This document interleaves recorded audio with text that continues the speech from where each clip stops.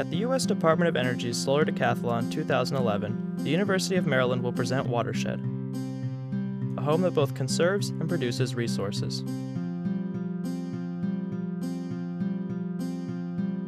Watershed's engineering design features an integrated set of systems that achieve robust functionality and keep the house comfortable under a wide range of climatic conditions.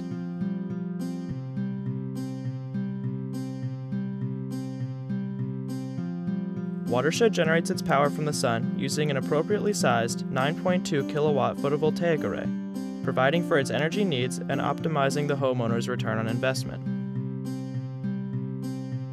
DC to AC electrical conversion happens at each panel using a microinverter. The PV array is clipped to the standing seam roof, eliminating roof penetrations. This design simplifies installation, minimizing system sensitivity to a single component failure. Indoor climate control begins with a well insulated envelope that reduces the need for mechanical heating and cooling with walls and roofs that have thermal resistance over R40. Mini split units independently control the temperature of each module. An energy recovery ventilator, or ERV, exchanges indoor and outdoor air to maintain air quality while conserving energy with 96% effectiveness. A free cooling mechanism in the ERV can be activated to cool the house with outdoor air when the temperature drops below indoor temperature, resulting in energy and cost savings. Watershed also features patent pending liquid desiccant waterfalls for humidity control. The desiccant solution absorbs moisture from the inside air via the indoor waterfall units and releases it to the outside atmosphere in a fully regenerative cycle. The system also takes advantage of thermal energy generated from an array of evacuated tube solar thermal collectors.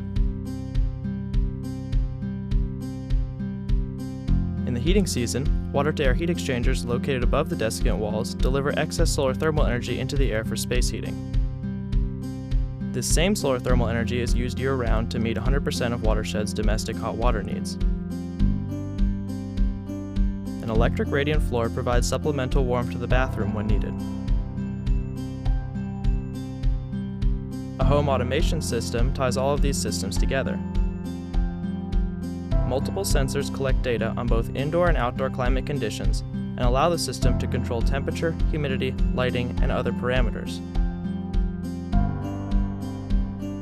Through a convenient iPad application, residents can view climate information as well as manually control the mini splits, lighting, and entertainment functions from any location.